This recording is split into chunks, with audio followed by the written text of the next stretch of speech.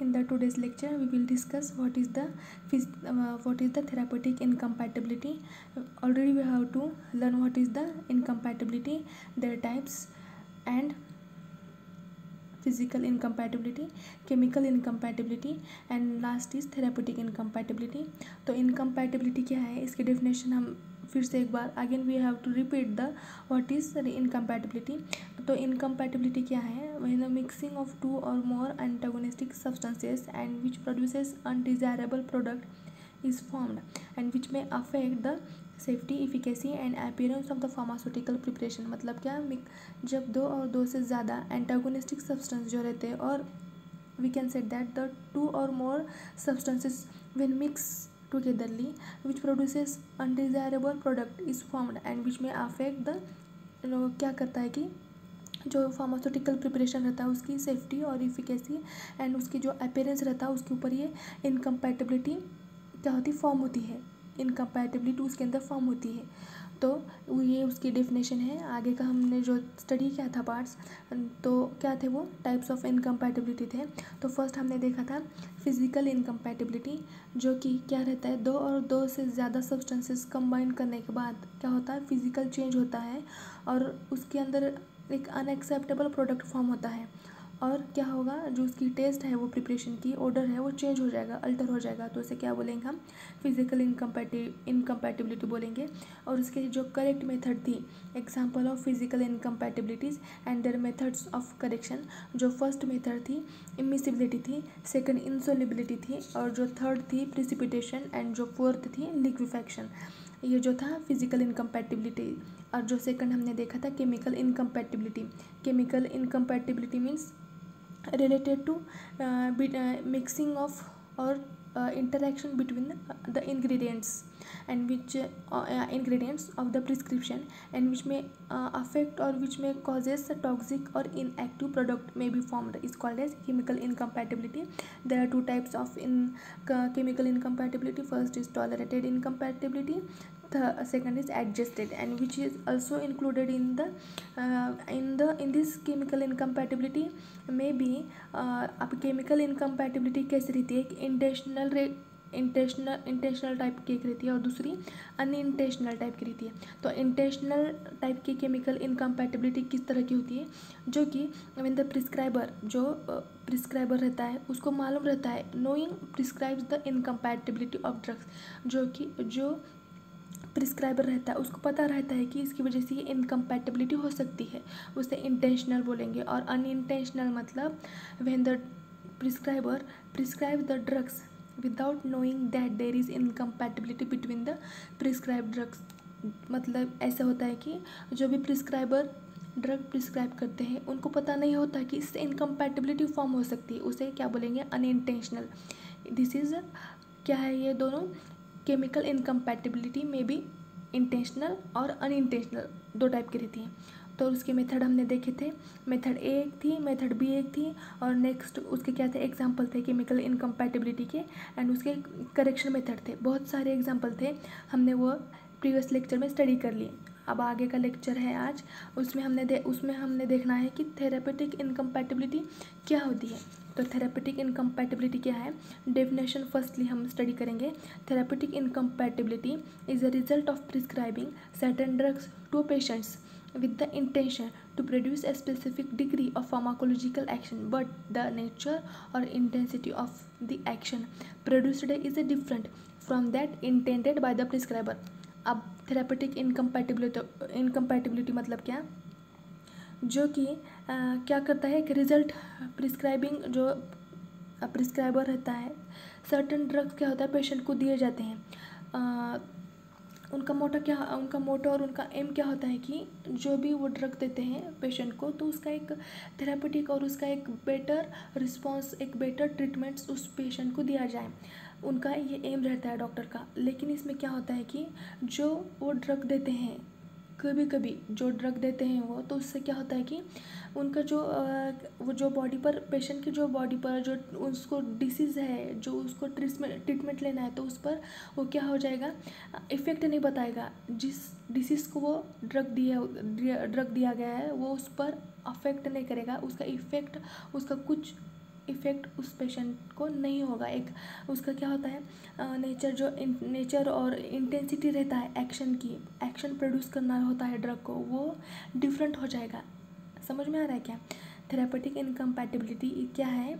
Result of जो result रहता है प्रिस्क्राइबिंग सर्टन ड्रग्स पेशेंट को जो देते हैं, उनका एक इंटेंशन क्या, एक उनका इंटेंशन रहता है क्या?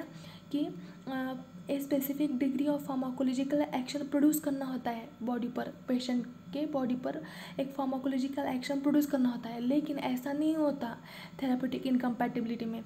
उसका जो ड्रग है और ड्रग का जो नेचर है और इंटेंसिटी जो है इंटेंसिटी ऑफ़ एक्शन जो है ड्रग की, वो डिफरेंट हो जाती है। और जो हमको इफ़ेक्ट होना है, जो ट्रीटमेंट हमको बेस्ट मिलना है, वो नहीं होता। तो उसे क्या बोलेंगे? थेरापेटिक इनकम्पैटिबिलिटी अब जो ये थेरापेटिक इनकम्पैटिबिलिटी है, वो उस क्यों होती है? और उसकी क्या रीज़न है थेरापेटिक इनकम्पैटिबिलिटी फॉर्म होने के?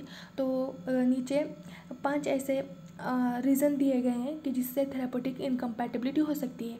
फ़र्स्ट जो है एरर्स इन डोसेज सेकेंड है wrong dose or drugs third है कॉन्ट्रा इंडिकेटेड ड्रग्स फोर्थ है सिनर्जेटिक एंड एंटागोनिस्टिक ड्रग्स और फिफ्थ है drug interactions so let see one by one all of this reason related to therapeutic incompatibility first है errors in dosage many therapeutic incompatibility result from errors in writing or interpreting the prescription order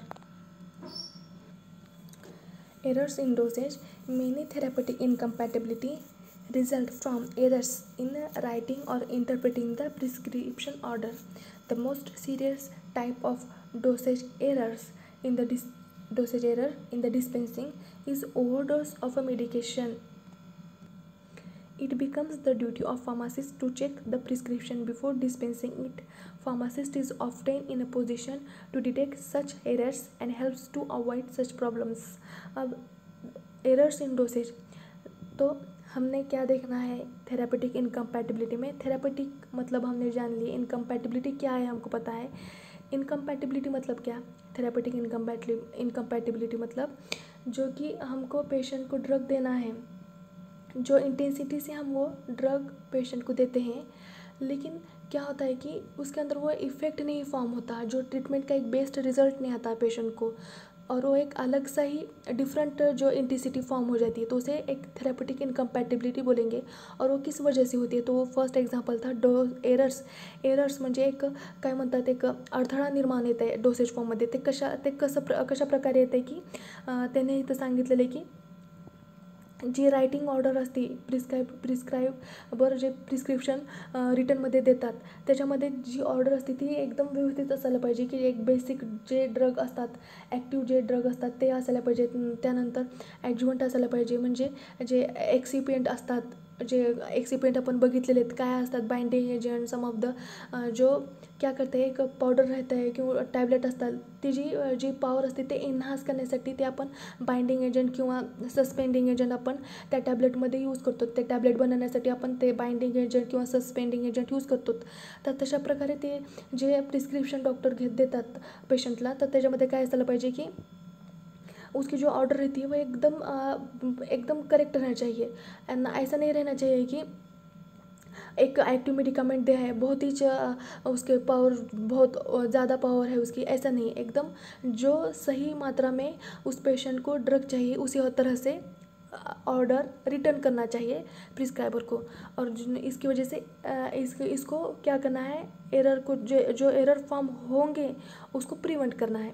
तो जो next है वो most serious type of dosage जो रहते हैं, उसके अंदर एरर हो सकता है। जब भी डिस्पेंसिंग करेंगे हम तो क्या होगा? ओवरडोज अगर प्रिस्क्रिप्शन के प्रिस्क्रिप्शन से जो भी ड्रग रहता है, उससे क्या होगा? ओवरडोज हो जाएगा। तो ओवरडोज हमें नहीं देना है। उसकी जितनी मात्रा है, उतनी ही मात्रा में हमको ड्रग और मेडिसिन प्रिस्क्राइब करना है पेशेंट को। It becomes the duty of a pharmacist to check the prescription order अब ये फार्मासिस्ट की ड्यूटी है कि प्रिस्क्रिप्शन की जो ऑर्डर है जो डिस्पेंस करना है प्रिस्क्रिप्शन उसको सही तरह से चेक करना। अब दूसरा क्या है? इसकी वजह ऐसा चेक करेंगे और ऐसा प्रिस्क्रिप्शन की जो ऑर्डर है, उसको सही तरह से देखेंगे, उसको चेक करेंगे ओवरडोज पेशेंट को नहीं देंगे तो क्या होगा? इनकम्पैटिबिलिटी जो थेरेपेटिक फॉर्म होगी, वो फॉर्म नहीं होगी। उसको हमको जो एरर्स आने वाले हैं, जो इनकम्पैटिबिलिटी में किया और थेरेपेटिक इनकम्पैटिबिलिटी से जो एरर्स होने वाले हैं, वो हम प्रिवेंट कर सकते हैं, उससे हम ओवरकम हो सकते हैं।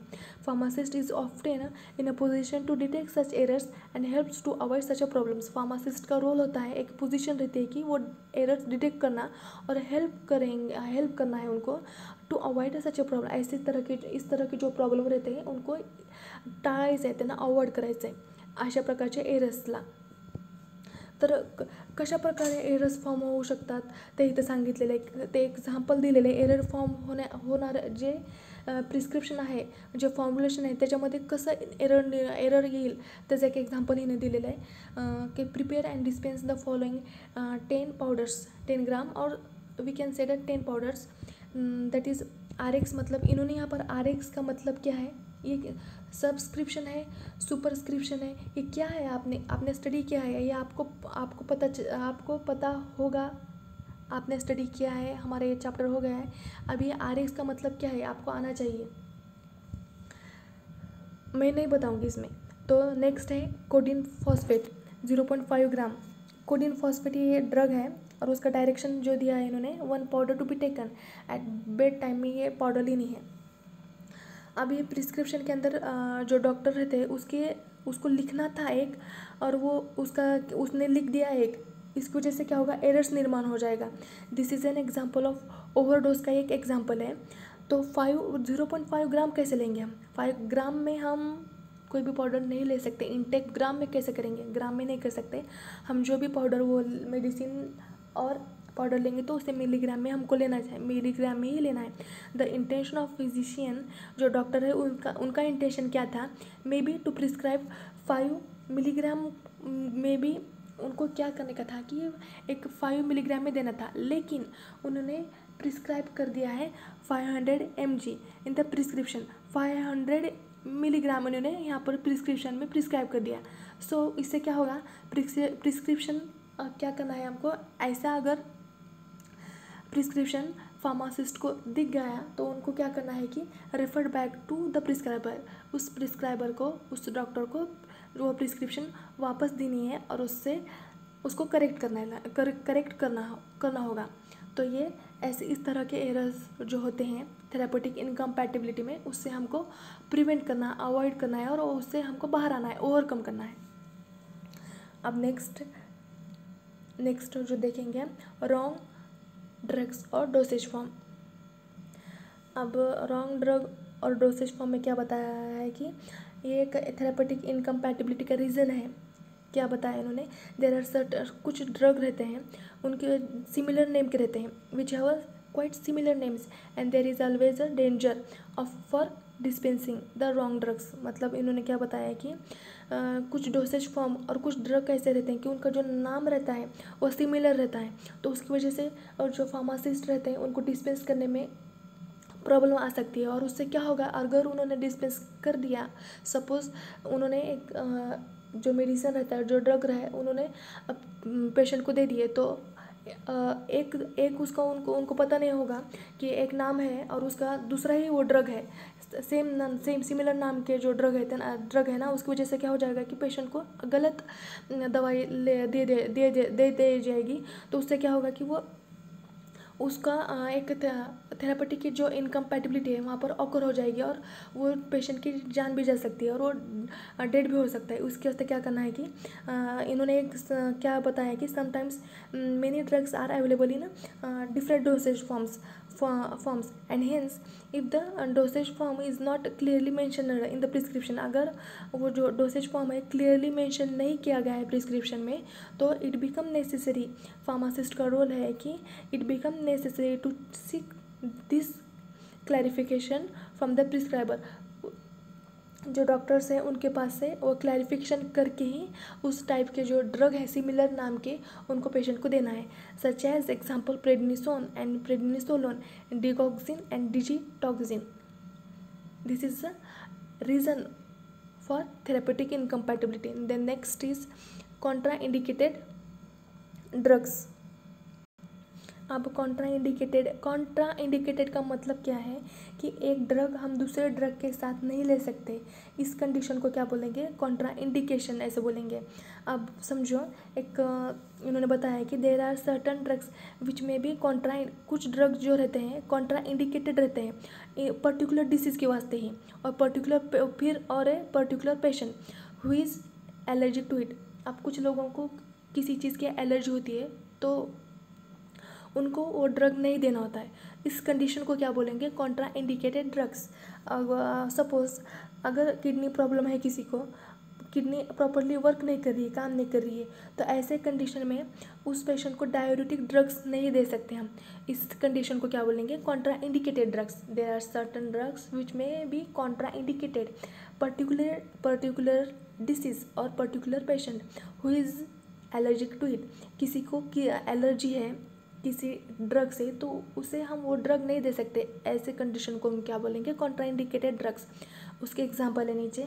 Corticosteroids are contraindicated to indicated in patients having an active peptic ulcer अब पेप्टिक अल्सर में हम कॉर्टिकोस्टोराइड बोल के जो ड्रग्स रहता है, वो नहीं दे सकते। वो, उस, वो क्या फॉर्म करेगा? ड्रग्स कॉन्ट्राइंडिकेटेड हो उस पेशेंट के वास्ते। वो हम नहीं दे सकते उस पेशेंट को। नेक्स्ट है penicillin and sulphur drugs are contraindicated to patients who are allergic to it मतलब ये जो पेनिसिलिन और सल्फ़र ड्रग है, वो उसका पेशेंट को ना एलर्जी है उस ड्रग से तो वो क्या हो जाएगा? कॉन्ट्रा इंडिकेटेड हो जाएगा उस पेशेंट को, उसको एलर्जी रहने की वजह से।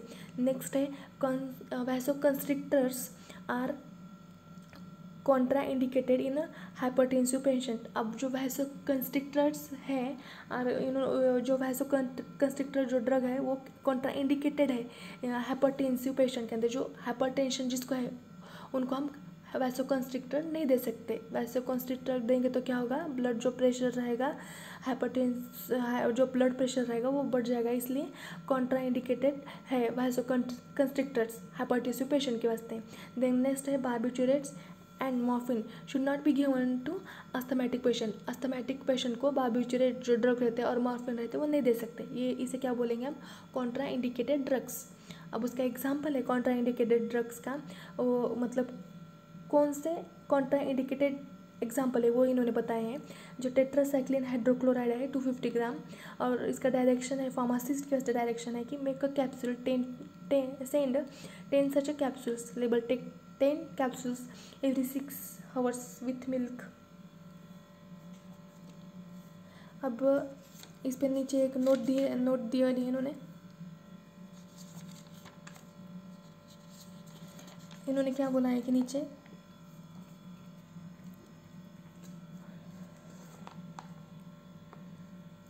तो थेरापेटिक इनकम्पैटिबिलिटी का ये एग्जांपल है। In this prescription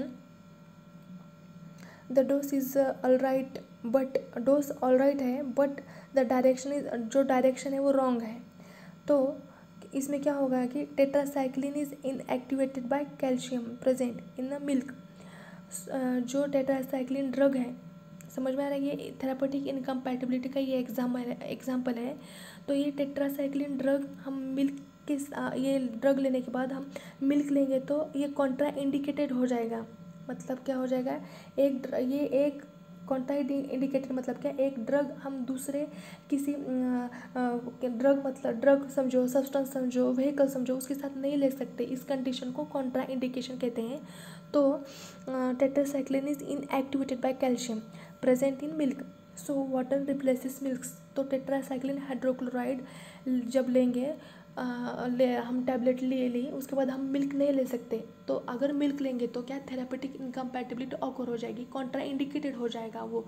so so, इसके वास्ते क्या करना है कि टेट्रासाइक्लिन हाइड्रोक्लाइड जब भी हम ड्रग्स हम इंटेक करेंगे लेंगे तो उसको वो लेने के उसको मिल्क से ही लेना है। उसके बाद हमको मिल्क उसके उसको क्या करेंगे? वाटर से ही लेंगे सॉरी वाटर लेंगे। वाटर जो मिल्क है मिल्क को वाटर से रिप्लेस करेंगे हम। इसको क्या बोलेंगे?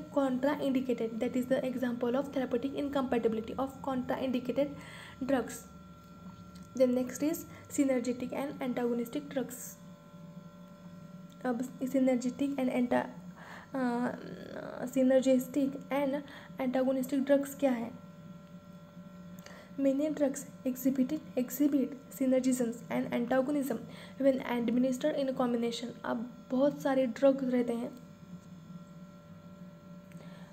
बहुत सारे जो ड्रग्स रहते हैं, वो क्या करते, क्या फॉर्म करते हैं? एक सिनर्जिज्म एक्शन और एंटागोनिज्म एक्शन देते हैं। जब कॉम्बिनेशन में हम ड्रग देते हैं तो वो सिनर्जिज्म और एंटागोनिज्म फॉर्म करते हैं।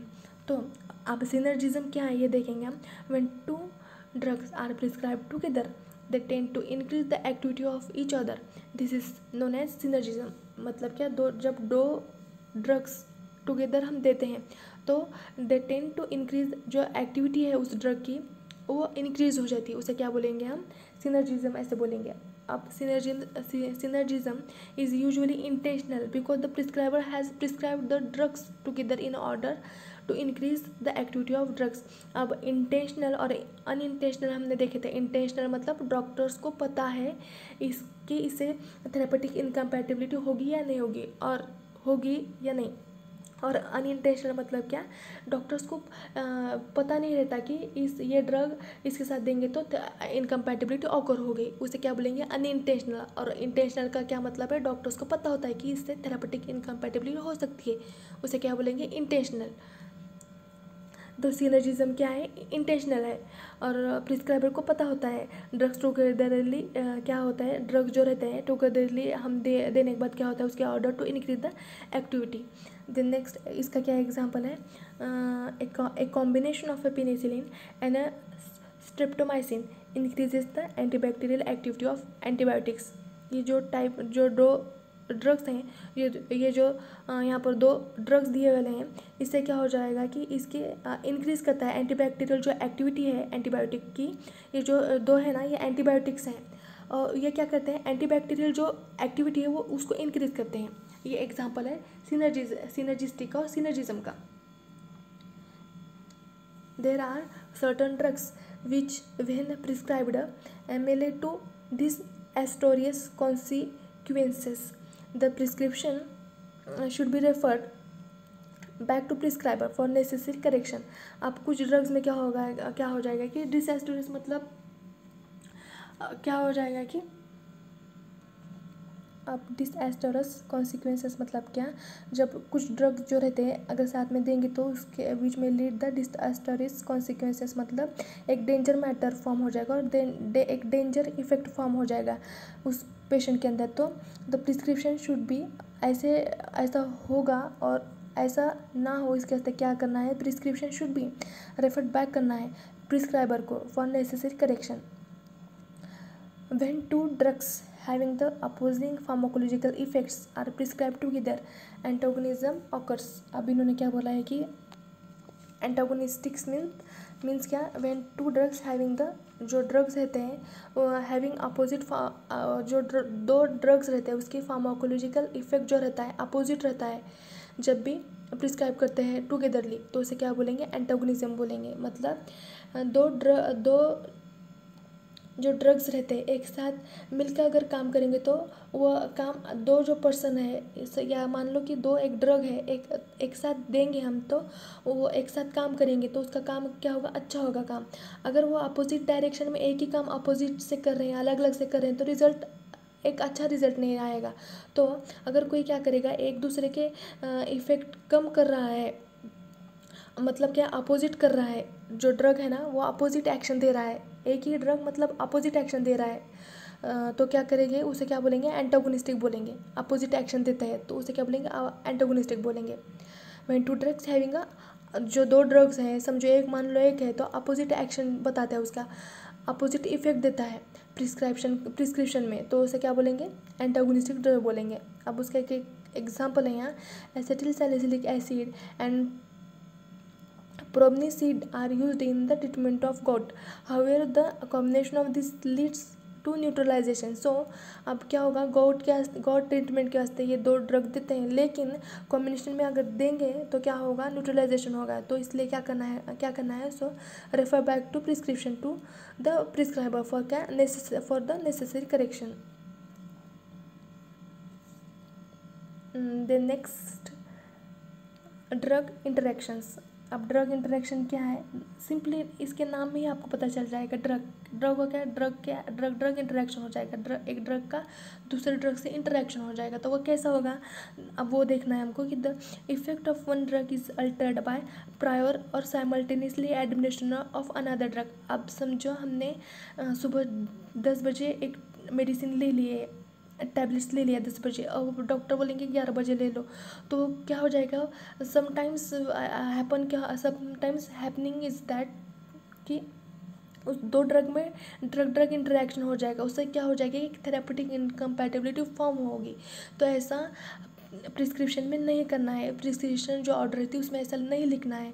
तो क्या करना है? The drug interaction can usually भी करेक्ट करना है by proper adjustment of dosage dosage का जो एडजस्टमेंट है प्रॉपरली एडजस्ट करना है। जैसे कि सुबह देनी है, सुबह मिल, सुबह मील के बाद देनी है या सुबह MT स्टमक से हम उस टैबलेट को लेना है तो उसका आफ्टर मील के बाद लेना है। उसका जो टाइम है ना ड्रग, जो ड्रग देने हैं, देने वाले हम एक पेशेंट को दो, तीन ड्रग मेडिसिन, चार देने वाले मेडिसिन तो उसका टाइम हमको एडजस्ट करना है।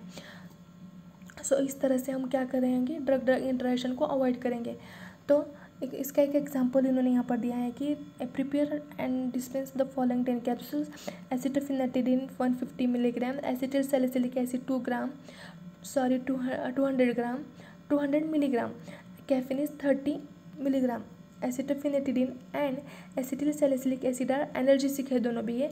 Acid acetophenetidin depress the C N S and this side effect is undesirable so caffeine is is a C N S stimulant to neutralize the side effect of एसिटोफिडी acetophenetidin the incompatibility is intentional so dispense the prescription as such तो ये जो drug रहते हैं ना, एक example है drug drug interaction का। इन तीनों का एक अलग अलग इफ़ेक्ट होता है तो उसको डोज एडजस्ट करके हमको देना है। Then next is prepare and dispense the following ten capsule tetra hydrochloride tetracycline hydrochloride two fifty milligram direction क्या है? Take one capsules R X का मीनिंग क्या है? Means you take subscription direction take one capsules every six hours with milk इन्होंने बताया है कि ऐसा एक डायरेक्शन दिया गया है इस पर।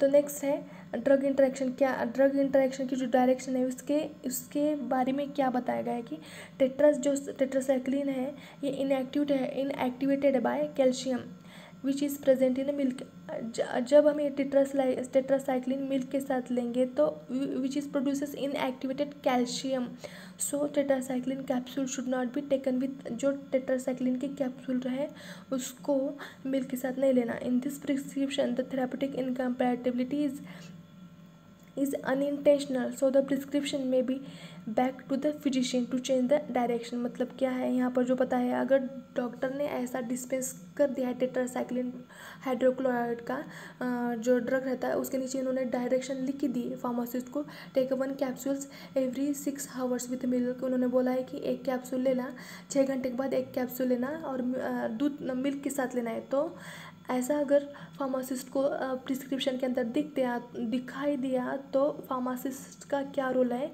कि जाकर उस प्रिस्क्राइबर को उस डॉक्टर को उस डॉक्टर को बताकर उसको रिकरेक्ट कर लेना है उस करेक्ट कर लेना है उस प्रिस्क्रिप्शन को क्योंकि ये अनइंटेंशनल टाइप का इनकम्पैटिबिलिटी है। इसकी वजह से क्या हो जाएगा? ड्रग ड्रग इंटरेक्शन हो जाएगा।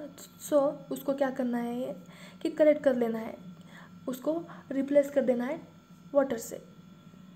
ओके आज का जो टॉपिक था हमारा थेरापेटिक इनकम्पैटिबिलिटी इजी है, समझने में भी आसान है। फ़र्स्ट जो हमने डेफिनेशन देखे थे इनकम्पैटिबिलिटी उसके टाइप्स थे। फ़र्स्ट फ़िज़िकल था सेकंड केमिकल था, और जो थर्ड था थेरापेटिक इनकम्पैटिबिलिटी आपको इसके नोट्स निकालना ही निकालना है। एकदम बाद में लेके बैठेंगे तो नहीं होगा। ऐसे ही आप, हमारे दो चैप्टर खत्म हो गए। फ़र्स्ट था प्रिस्क्रिप्शन सेकंड है इनकम्पैटिबिलिटी इन प्रिस्क्रिप्शन ये लास्ट पॉइंट था हमारा। नेक्स्ट लेक्चर में ओवरऑल एक स्टडी देख लेंगे हम। तो आज के लेक्चर में क्या समझ में आया? आप एनी क्यूरीज रहेगा तो हम, आप मुझसे सेपरेटली पूछ सकते हैं। फ़र्स्ट जो था थेरापेटिक इनकम्पैटिबिलिटी उसकी डेफिनेशन और वो थेरापेटिक इनकम्पैटिबिलिटी क्यों होती है? क्या रीज़न है? तो उसका फ़र्स्ट जो था एरर्स इन डोसेज सेकंड था रॉन्ग डोज और डोसेज फॉर्म्स थर्ड था थर्ड जो था contraindicated drugs then four उसका एक एग्जांपल देन फोर्थ था synergistic and antagonistic drugs then fifth था ड्रग इंटरेक्शन तो क्या था, ये जो थेरापेटिक इनकम्पैटिबिलिटी फॉर्म होती है, कि इस पाँच वजह से थेरापेटिक इनकम्पैटिबिलिटी होती है तो इसको हमें अगर हुई तो इसको ऐसे दिख रहा है, हो, होने के चांसेस दिख रहे हैं तो हमको इसको अवॉइड करना है, इसे ओवरकम होना है, इसे प्रिवेंट करना है, ये इसमें बताया गया है। ओके